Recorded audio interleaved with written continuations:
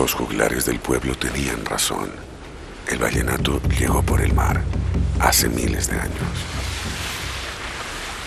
Por siglos, desde el sur del continente americano, las ballenas han recorrido una y otra vez miles de kilómetros en busca de un lugar único y mágico.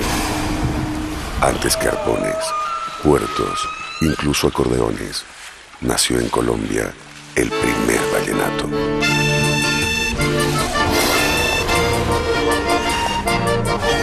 Bahía Málaga, un tesoro natural y de biodiversidad en nuestras costas del Pacífico, fue el destino elegido por las ballenas para dar a luz y alimentar a sus ballenatos.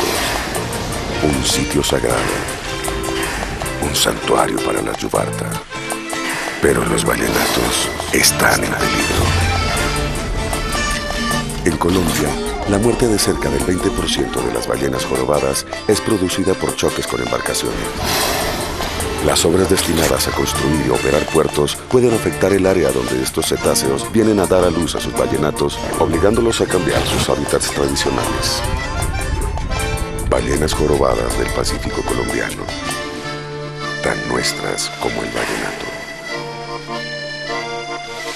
Rezo, responsabilidad social, una campaña de Señal Colombia y WWF. Por eso yo rezo.